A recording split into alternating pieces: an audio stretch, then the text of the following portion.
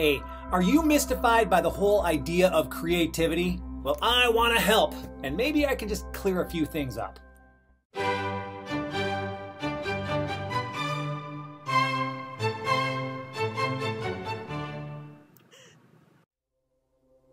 The Flight of the Artist. There is no use in forcing the issue, awaiting the muse to reach down and bless you. If you're left in wonder, confusion, deflation, then waste not a moment on some new creation. For art hath no enemy greater than doubt. Art flows from surety, in and without. Confidence only can fan passion's fire. Without it, can a work ever inspire? Those not so moved must never suppose that they will take flight with the wings to compose.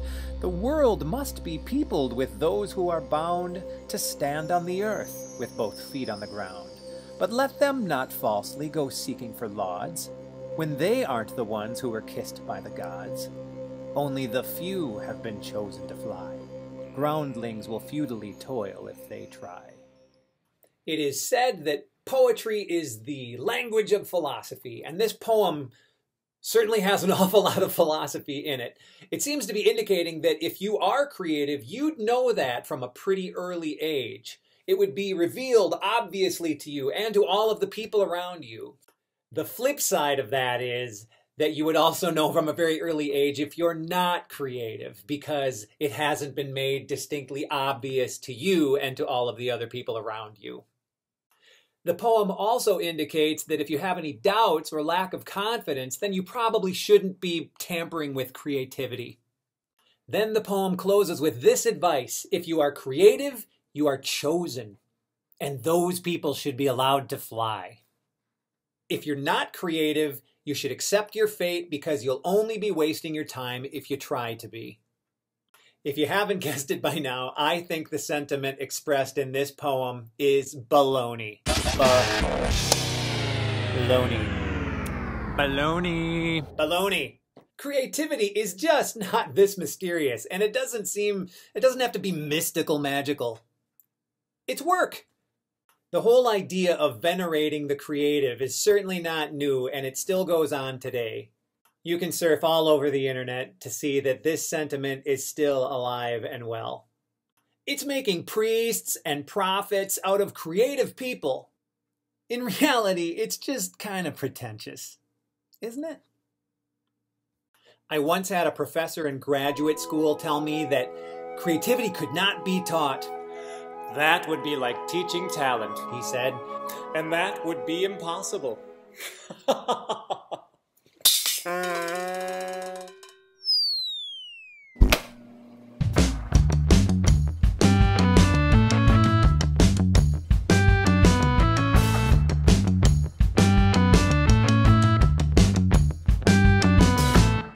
Okay, let's take a look at some definitions of creativity as they exist in some of the most popular online dictionaries.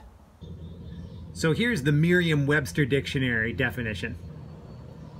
The ability to create and the quality of being creative. Here's the Cambridge definition.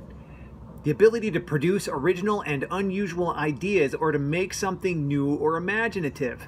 And if you just type the word into Google, you get this. The use of the imagination or original ideas, especially in the production of an artistic work. You know, when you take the window dressing away from creativity, it's pretty basic. Creativity is nothing more than the synthesis of ideas towards a product. It's a process. That's it. It's just not that complicated. But that doesn't mean it's always easy. By the way, this is not to diminish the importance of talent. Creativity in the hands of a truly talented person can be transforming, transporting. We can all recognize and appreciate talented or extremely skilled people even from an early age. Talent is huge, and honestly, sometimes it takes years for a person to even really learn what their talent is.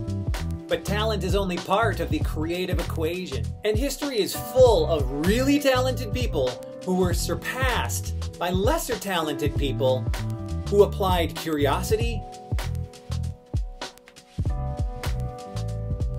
imagination, discipline, and just plain hard work to the talent that they did have. Take a look at Teddy Roosevelt, one of the most recognized presidents in U.S. history. Look at that grin. he seemed to exude confidence and charisma. He was a pretty big deal. He got his face carved in the side of a mountain for crying out loud. What you might not know is that Teddy Roosevelt spent his childhood as a sick, frail kid. Amongst other things, he had a severe case of debilitating asthma. Early on, from all outward appearances, it wouldn't look like a sickly little kid would have much going for him. And one could also argue that Roosevelt was a man of average to above average talent and skill. But what he did have in spades was tenacity, imagination, determination, and persistence. And these traits have more to do with creativity than talent does. Historians often muse about Roosevelt's desire to not be sick and how he embraced a physically strenuous lifestyle to counter the ailments that plagued him as a child. As a result, he, he famously adopted an outdoorsman, explorer, cowboy, horseman, rough rider persona. Did you know that Teddy Roosevelt even got shot in the middle of one of his stump speeches? And he kept doing the speech. He refused medical attention until the speech, which took 84 minutes, was over. wow. So, this guy who was sickly and frail as a child later adopted a very famous motto for himself get action. Here's a quote from Teddy Roosevelt Get action. Do things. Be sane. Don't fritter away your time. Act. Take a place wherever you are and be somebody. Get action. And you know what? That's what creativity is like. Get action. Get action! Get action. Thomas Edison, perhaps the most well known inventor in recent history, shared this get action sentiment. Edison famously was the first to invent recorded sound. Think of that. There was no recorded sound before he invented it. If you wanted to hear music, then you actually had to be in the presence of a musician. He invented a reliable electric light bulb, the first city power grid. He founded General Electric. He invented motion picture film and the first movie camera. The very idea that you're watching me right now is all because of Thomas Edison. Thomas Edison was never fully appreciated by the scientific community as a great scientist. He had no formal training, and he didn't fully understand alternating current because the math was more complex than he knew how to do. But they saw him as being really good at solving problems. Solving problems was like play for Thomas Edison, and solving problems is an exercise in creativity. Thomas Edison was clearly a creative genius, but this had less to do with him being touched by the muse and more with his ability to make connections, rolling up his sleeves and getting busy, and not being intimidated by failure over and over and over. Thomas Edison was also great for some pretty epic quotes. He famously said, I have not failed. I've just found 10,000 ways that won't work. And here's one of my favorites. He once said, Opportunity is missed by most people because it is dressed in overalls and it looks like work. So, in a real sense, creativity is not your talent. It's what you do with it, and what you do with it, and what you do with it. It has everything to do with action. Get action!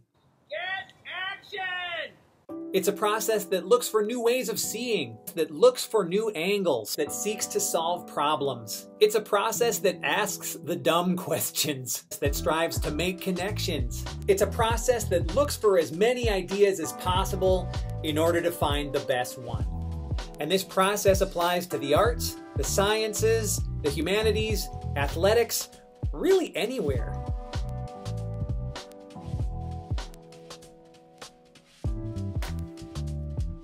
I've had friends and students tell me, well, I'm just not creative. And the only real answer to that is, well, I guess you're right, if you say so. Don't become a self fulfilling prophecy. You might actually be really creative and you never even knew it. Just remember, creativity is a process, and processes can be learned and developed and improved, just like tap dancing, or welding, or Tuvan throat singing. Creativity is not about confidence, it's not about surety.